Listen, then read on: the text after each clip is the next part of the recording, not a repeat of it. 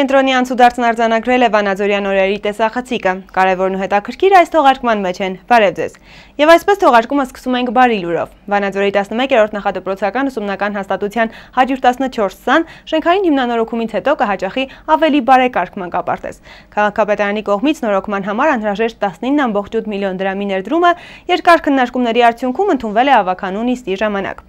Գաղտնիք չէ, որ օբյեկտիվ պատճառներով Վանաձոր քաղաքի բյուջեն լարվածության փուլումը եւ դեռևս չի հաջողվում պլանավորված եւ ընթացիկ մասով հասնել ծախսերի եւ եկամուտների բյուջետային հավասարակշռության։ Սակայն պետք է նշել, որ բյուջեի լարվածության պարագայում ֆինանսական միջոցներ չեն խնայվել երեխաների արժանապատիվ դաստիարակության համար, ասված է Վանաձորի քաղաքապետարանի պաշտոնական կայքեջում։ Իսկ այժմ տեսանյութ նիստի օրակարգի մասին։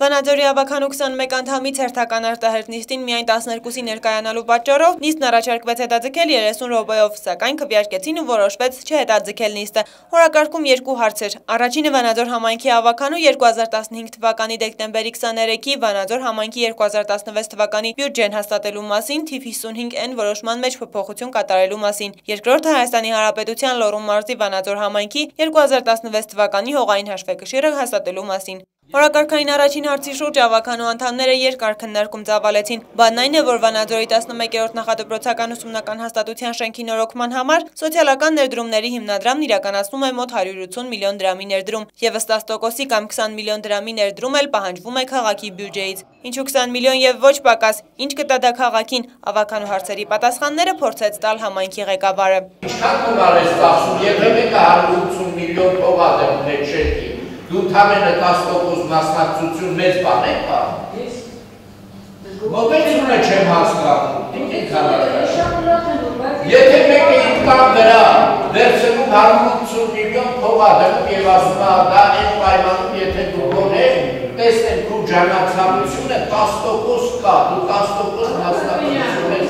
ունենալ։ Թե արդյոք շենքի նորոգման արդյունքում հնարավոր կլինի նոր խմբեր ստեղծել եւ ավելի շատ երեխաներ ներգրավել, քաղաքապետ Սամվել Դարփինյանը պատասխանեց ցավոտ հարցերի, այսպես ասած, կոշտ լուծումների մասին մեջբերմամբ։ Այս են ավականու անդամներն են, որոնք միշտ դեմ են եղել ծնողական միջոցները ավելացնելու, իսկ այսօր խնդիրը ոչ թե մանկապարտեզի մասնաշենքերում է, այլ խնդիրը նրանում է, որ համայնքային բյուջեն այլևս սիզորու չէ, այդ հավաքագրած գումարներով մեր երեխաների նորմալ սննդամթերք ապահովելով թիվը մեծացնել։ Մենք խնդիր ունենք ծնողական միջոցների բարձրացման համար, գումարի բարձրացման համար։ Մենք մանկապարտեզներ ունենք, որ հենց այսօր կարան նույնիսկ 6 խումբ պահեն, բայց ֆինանսական միջոցներ Մի երեխի օրական գնումա մոտավորապես 200-250 դրամ, որոնց մեկ օրական 3 անգամ սնունդ է չհաշված մնացած բոլոր ծախսը։ Ես եմ ամեն ինչ ջերում կազմելած, որ հետագայում հավաքան մատխարները վերջո ես ծնողական միջոցները պիտի բարձրացնեն։ Պարոն Դարչունյան, ծնողական միջոցները բարձրացնելու համար նաև պետք է պայմաններ, որ մանկապարտեզները համապատասխան պայմաններ ունենան։ Սա այդ քայլերից մեկն է։ Այնուհետև անցում կատարվեց թվաբանությանը, մեջ բերեցին Հայաստանում միջին աշխատավարձի չափը, հաշվարկեցին աշխատակիցների վարձատրության չափը։ Այսպիսով քաղաքի բյուջեն միայն նորմալ աշխատավարձի համար չի բավարարում, ասաց Դարփինյանը։ Հիմա ձեզ մի բաց թվաբանություն եմ ասում։ Անընդհատ հայտարարվում է, որ հանրապետության միջին աշխատավարձը 168 հազար դրամ է։ Եթե մենք ընդամենը 150 հազար դրամ ենք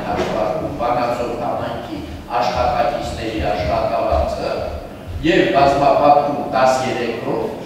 12 նաեւ 13-րդ աշխատավարձ եթե տանում էր աշխատակիցների արցախութայիններ հետը մեր աշխատմենք մի միայն աշխատավարձի առանց պահպանման ծախսերի առանց որևէ այլ ծախսեր կատարել միայն աշխատավարձի ֆոնդը դառնում է 2 միլիարդ 535 միլիոն։ Մեր ամբողջ բյուջեն ընդամենը 2 միլիարդ 150 միլիոն։ Ծրագրի ուրեմն ամբողջ արժեքը կազմում է 198 միլիոն, առաջարկվում է, որ համայնքը ներդրի 19.8 միլիոն, ընդ որում ներդրման արդյունքը 10 անգամ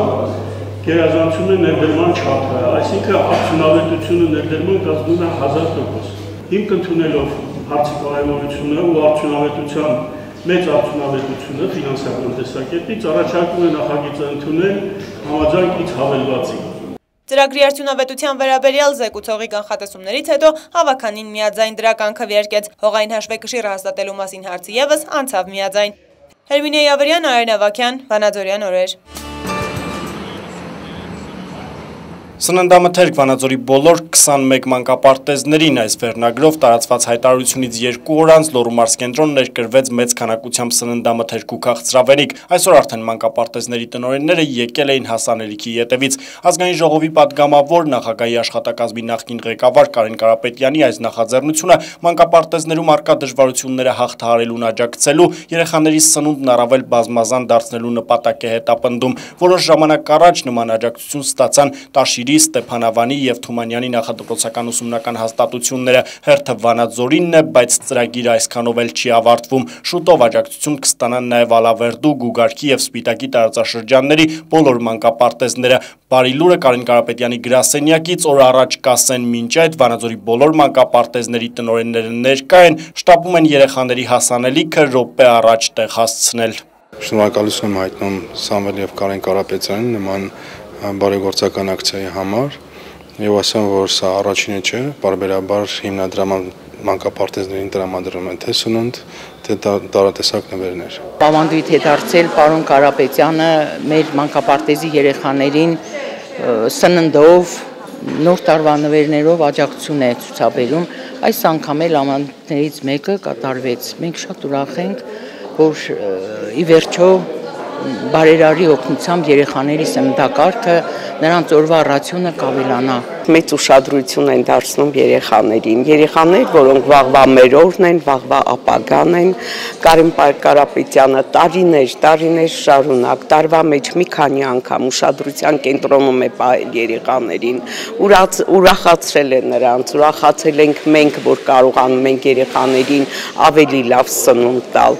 Անցումային շրջանում ենք եւ այս ամեն ինչ այսօր մենք տանելու ենք շատ մեծ նշանակություն կունենա երեխաների սնունդի կալորիականությունը ավելի բարձր ձևով կազմակերպելու համար։ Հանրապես մեզ միշտ էլ օգնել են, մեր երեխաներին ուրախացրել։ Այն որ փոքրիկները մշտապես Տաշիր հիմնադրամի ու Կարապետյանների ընտանիքի ուշադրության կենտրոնում են գաղտնիք չէ ոչ մեկի համար։ Մարս կենտրոնում ընտանիքը գերժամանակակից ծննդատուն է կառուցում, իսկ Տաշիր, Ստեփանավան, Ալավերդի, Սպիտակ եւ Իջևան քաղաքներում ընթացքի մեջ են մանկապարտեզների կառուցման աշխատանքները։ Ազգային ժողովի падգամավոր նախագահի աշխատակազմի նախկին ղեկավար Կարեն Կարապետյանը Կարապետյանի կողմից սննդամթերքի տեսքով աջակցությունն էլ որոշակի օգնություն է նաև համայնքին եղած միջոցներով, միշտ չէ որ քաղաքապետարանները երեխաների համար ապահովում են լիարժեք սնունդ, ուստի շարունակական բնույթ կրող այս աջակցությունը ոչ միայն երեխաների սննդակ կարգն է հարստացնում, այլև շատ դեպքերում հնարավորություն է տալիս որոշակի խնայողություններ անելու, որպեսի լուծվեն այլ խնդիրներ եւս։ Վանաձորի 21 մանկապարտեզներում հաճախում այնքան երեխա, որ ավելի շատ են, քան թե ասենք Լոռվա մարզի մնացած 105 թե 106 համայնքների բոլոր մանկապարտեզները միասին որպես գործին մոտ կանգնած մարդիկ մենք պատկերացնում ենք, թե դա ինչ ծախսեր է իրենից ներկայացնում եւ դա նաև օգնություն է Վանաձոր քաղաքի համայնքային բյուջեին, որովհետեւ կարողանան մի քիչ նաև գումարներ տնտեսել գուցե եւ այլ ավելի կարևոր ծախսերի համար։ Մանկապարտեզներում վաղվան չեն սպասել փոքրիկները արդեն այսօր զգացին տարբերությունը, պատասխանատուները սկսել են քաղցրավենիքից, իսկ առաջիկա օրերին զգալի փոփոխություն է սպասվում նաև ճաշացանկում, փոքրիկներին մնում է վայելել մանկությունը։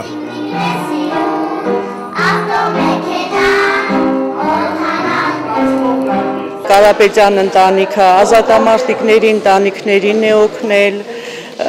զոհվածների ընտանիքներին, այսինքն Այդ օգնությունը սկսվում է նախակրթարանից եւ այդպես բարձրանում մեր հայ ժողովրդի համար իրենք շատ-շատ բան ունեն արած։ Խորին շնորհակալություն, խորին երախտագիտություն։ Ազգային ժողովի պատգամավոր նախագահի աշխատակազմի նախկին ղեկավար Կարեն Կարապետյանի կողմից Վանաձորի բոլոր 21 մանկապարտեզներին հատկացվող սննդամթերքի բաշխումն այսօր ամբողջովին ավարտվեց։ Մնում է սպասել հերթական հայրենանվեր նախաձեռնությանը, որը ավանդույթի համաձայն չի ուշանա։ Հուլիսի 5-ին նշվեց Հայաստանի Հանրապետության առաջին սահմանադրության օրը։ Իրադարձության մասին եւս մեկ անգամ հիշատակել ու Վանաձորի քաղաքացիներին իրազեկել են մի խումբ երիտասարդներ։ Նրանք նաև անցորդներին սահմանադրության գրքույկներ են բաժանել։ երիտասարդները կազմակերպեցին միջոցառում ակցիա, քանի որ ժողովրդի մեծ մասը չի տեղեկացել սահմանադրական բարեփոխումներին, մենք որոշեցինք կազմակերպել այս ակցիան եւ նոր տպագրված Հայաստանի Հանրապետության սահմանադրության գրքույկները բաժանել հանրությանը։ Օրվա կապակցությամբ շնորհավորական ուղերձ է հղել Վանաձորի քաղաքապետ Անվել Դարփինյանը։ Ուղերձում մասնավորապես ասվում է. Սիրելի վանաձորցիներ, սրտանց շնորհավորում եմ ձեզ սահմանադրության օրվա կապակցությամբ։ Սահմանադրությունը պետության բնականոն զարգացման ու նոր մարտահրավերներին վստահորեն եւ արժանապատվորեն դիմակայելու գրավականն է։ Մեր երկրի մայրօրենքնազատ ժողովրդավարական, սոցիալական եւ իրավական պետություն կառուցելու գործիք է ժողովրդի ձեռքում։ Այս տարի սահմանադրական բարեփոխումների ընդունմամբ մեր ժողովուրդն իր վստահությունը հայտնեց երկրի գլխավոր օրենքին, Համոզված են, որ Հայաստանի Հանրապետության հիմնական օրենքի մեջ ամրագրված արժեքներն ու իդեալներն արտացոլում են ժողովրդի կամքն ու ցանկությունները։ Եվս մեկ անգամ շնորհավորելով այս տոնի արդիվ, ցանկանում եմ համոզմունք հայտնել, որ նոր բարեփոխված սահմանադրությունը կծառայի Հայաստանի Հանրապետության այսօրվա, ինչպես նաև ապագա քաղաքացիներին։ Մաղթում եմ, որ սահմանադրությունն անշեղորեն ծառայի ժողովրդին եւ բարօրություն ու խաղաղություն բերի մեր երկրին։ Վանաձոր համայնքի ղեկավար Սամվել Դարփինյան Վերջին օրերին Վանաձորում գրանցվել է սնկային թունավորման 9 դեպք 15 տուժածով։ Թե ինչպես են երևույթը մեկնաբանել հիվանդությունների վերահսկման եւ կանխարգելման ազգային կենտրոնի լոռու մասնաճյուղում, դիտեք տեսանյութում։ Վանաձոր քաղաքում 2016 թվականի սկզբից մինչ օրս գրանցվել է սնկային թունավորման 9 դեպք, տուժել 15 մարդ։ Անցած տարվա նույն ժամանակահատվածի համեմատ դեպքերն ավելացել են 4-ով։ Հավաստիացրեց հիվանդությունների վերահսկման եւ կանխարգելման ազգային կենտրոնի լոռու մասնաճյուղի տնօրեն Անժելա Հովանիսյանը։ Անցած տարի ունեցել ենք նույն ժամանակահատվածում ընդամենը 10 տուժած։ Այս տարի ավելի ակտիվ հիվանդների թիվը ավելանում է։ Վերջին օրերին գրանցված դեպքերը, ինչպես ընկային թունավորումների 99 տոկոսը գրանցվել է անտարից հավաքած ընկի օգտագործման պատճառով։ Իրենք հավաքել էին սունկը, իրենց իսկ հավաքած սունկը տատիկը ստուգել, եփել էր եւ կերել էին տան 5 անդամներով, ծնողները եւ 3 երեխաները։ Ծանր կլինիկայով տեղափոխվել էին Վանաձորի բժշկական կենտրոն։ Հիմնականում միջին ծանրության եւ ծանր դեպքեր մեր բժիշկների շնորհիվ կարողանում են իրենց կյանքը փրկել։ Եթե ուշացնեն դեպքերը, մենք ունենանք մահացու դեպքեր։ Ուտել թե չուտել, հատկապես գիտակցելով, որ սնկային թունավորումը կարող է անգամ կյանք խլել։ Թունավորումներից խուսափելու համար հիվանդությունների վերահսկման եւ կանխարգելման ազգային կենտրոնի լոռու մասնաճյուղի տնօրենը հորդորում է չօգտագործել անհայծակման սունկ, չուտել անգամ սեփական ձեռքերով հավաքած սունկը, քանի որ դրանք կարող են ենթարկված լինել մուտացիայի։ Խորհուրդ է տրվում սունկ գնել համապատասխան փաստաթուղթ ունեցող վաճառողներից։ Հայաստանի գրողների միության լոռու մարզային բաժանմունքում կայացել է Եղիազար Մուրադյանի երկերի ժողովածուի երահատոր գրքի շնորհանդեսը, թե ինչպես է գիրքն ընդունվել ընթերցողների կողմից, ասվում է առաջարկվող տեսանյութում։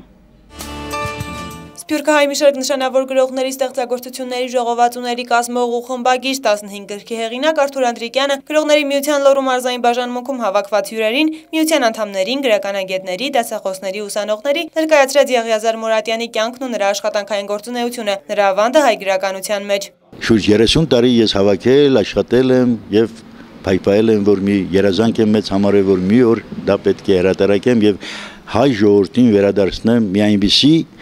անհատի, որը որին շատ շատերն շատերը ծանոթ չեն եւ որը եղել է հայ բանաստեղծության հիմնադրի Պետրոս Դուրյանի հայերենի եւ ֆրանսերենի ուսուցիչը մի մշակութային գործիչ, բանաստեղծ, քերականագետ, մշակութաբան, պատմաբան, բարարանակիր, ազգային հանրային գործիչ, որը մոռացության էր մատնած եւ որին պետք է ինչպես նախինում եղած մեր շատ բաց թողումներ պետք է նույնպես նրան ներկայացնենք, այդ պատիվը ինձ էր վստահված, ես որոշակի ժամանակ երկար տարիներ աշխատասիրեցի այդ հատորները եւ այսօր Փարք Աստծո հրատարակվել է որը մշակութային մեծ արժեք եմ համարում։ Կենթանության օրոք չի հրատարակվել, լրանում է նրա ծննդյան 175-ամյակը, բայց նա եղել է մեծ մանկավար, երախտավոր ազգային գործիչ, գրականագետ, ու նաև բանաստեղծ։ Հայաստանի գրողների միության լոռու մարզային բաժանմունքի տնօրեն Մանվել Միկոյանը կարևորելով նմանատիպ շնորհանդեսների անցկացումը մարզում, արժևորեց հատկապես բազմավաստակ, սակայն ընթերցողներին քիչ հայտնի գրողների ու նրանց ստեղծագործություններին անդրադառնալու փաստը։ Վերջին տարիներին մենք արդեն ավանդույթ ենք դարձել, որ նման շնորհանդեսներ, նման միջոցառումներ, գրքերի ներկայացումներ, ինչպես Աթուրք Ադրանիկյանն է սիրում ասել, լինեն նաև մարզերում Երկերի ժողովածու երահատոր գրքերի շնորհանդեսները եղել են Գիտությունների ազգային ակադեմիայի պատմության ինստիտուտում եւ Ավետիք Իսահակյանի անվան գրադարանում։ Գրքի հեղինակի խոսքով մինչ տարեվերջ պլանավորում են իրականացնել եւս մեկ գրքի հրապարակում եւ նոր շնորհանդեսներ ինչպես Հայաստանի սահմաններում, այնպես էլ դրանցից դուրս։ Այժմ մեկ լուր առողջ ապրելակերպով եւ հատկապես հեծանվարշավով հետաքրքրվող անձանց համար։ Վանաձորի երեխաների խնամքի եւ պաշտպանության թիվ 1 գիշերօթիկ հաստատության, Վանաձորի թիվ 1 արհեստագործական ուսումնարանի, Հայաստանի հեծանվային սպորտի օլիմպիական մանկապատանեկան մարզադպրոցի եւ Ֆրանսիայի Պա դե Կալե դեպարտամենտի մանկատների հետ բարեկամության շրջանակներում իրականացվող 10-րդ հոբելյանական հեծանվարշավի Վանաձորի մեկնարկը կտրվի հուլիսի 13-ին ժամը 9:30-ին Հայքի հրապարակից։ Վանաձորի համայնքապետարանը հեծանվարշավով հետաքրքրված ընտրված անձանց հրավիրում է մասնագետներին քաջալերելու եւ ճանապարհելու։ Այժմ առաջարկում եմ դիտել թողարկման եզրափակիչ տեսանյութը։ Վտանգավոր մի փոսից փախցնում ես երկու փոսի մեջ ես ընկնում։ Մեքենան ես ջարդով մարդկանց դակալով տանես ոնց կլի այդ մարդկանց։ Հնարավոր է մեջը հղիկին էլ լի հնարավոր է հնարավոր է հիվանդ են մարդիկ, սրտային հիվանդներ են, թխկալով գնում ես ոնց կլի։ Մեքենա ջարդելը ջարդելը քիչ է, մեկ մարդկանց էլ ես վնասում, չէ։ Հնարավոր է մեջը հղիկին էլ լի հնարավոր է հնարավոր է հիվանդ են մարդիկ, սրտային հիվանդներ են։ Թխկալով գնում ես ոնց կլի։ Մեքենա ջարդելը ջարդելը քիչ է, մեկ մարդկանց էլ ես վնասում, չէ։ Շատ դժգոհ ենք, մեքենաները ջարդում ենք։ Սեն չի, ինչքան վաղտա փոսերը փորել են չեն լսնում հիմա փոսերի հետևանքն է, որ գալիս ենք ստեղ հանգստանալու տեղը, վերանորոգ են, որ նորից գնանք, կարենանք մեր երթը կատարենք։ Փոսեր, փոսեր, փոսեր, թե որքան վնաս են դրանք հասցնում մեքենաներին, վարորդներն իրենց սեփական փորձից շատ լավ գիտեն։ Մինչ նրանք բողոքում են, Վանաձորում շարունակվում են փոսային նորոգման աշխատանքները։ Դրանք սկսվել են մայիսի 15-ից։ Այս տարի ճանապարհային փոսերի նորոգման աշխատանքները իրականացվում են Մարսկենտրոնի 59 փողոցներում։ Նորոգվող փողոցների թիվն այս տարի 4-ով ավելացել է։ Հիմնանորոգում սակայն այս փողոցները քառորդ դար չեն տեսել։ Համայնքի բյուջեի չափը թույլ չի տալիս անգամ երազել դրա մասին։ Ընդհանուր ասֆալտապատման համար բավականին մեծ գումարներ է պետք, բավականին մեծ գումար է։ Այսօր տեղական բյուջեի գումարները բավարար չի անգամ մեկ փողոց ասֆալտապատել ընդհանուր կապիտալ նորոգում կատարել։ Դա պետական բյուջեից հատկացված միջոցներ է հարկավոր, որպեսզի մենք կատարենք ընդհանուր կապիտալ նորոգման աշխատանքներ։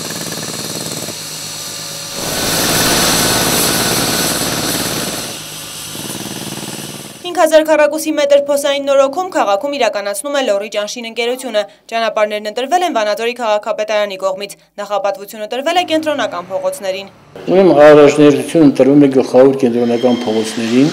Կենտրոնական փողոցների լցնելուց անմիջապես հետո սկսվում է երկրորդական փողոցների փոստալցման աշխատանքները։ Փոսերը կտրվում են, բայց ասվալտով չեն լծվում ժամանակին, որի հետևանքով տևական ժամանակ դրանք խորանում են, ճանապարհները վտանգավոր են դառնում։ Անհրաժեշտ տեխնիկան արկա է, սակայն աշխատանքները հետաձգվում են տեղումն առատ եղանակի պատճառով։ Փոսալցումները տեղումների ընթացքում անիմաստ են։ Այդքան ասենք ժամանակ չկա, արևային եղանակները մեր մոտ այնքան քիչ են, որ ժամանակը չի բավարարում, որպեսզի արևային եղանակների ժամանակ կտրման աշխատանքները իրականացնենք, չնայած անձրևի ժամանակ դա չի խանգարում, ուղղակի անձրևից հետո, չորանալուց անմիջապես հետո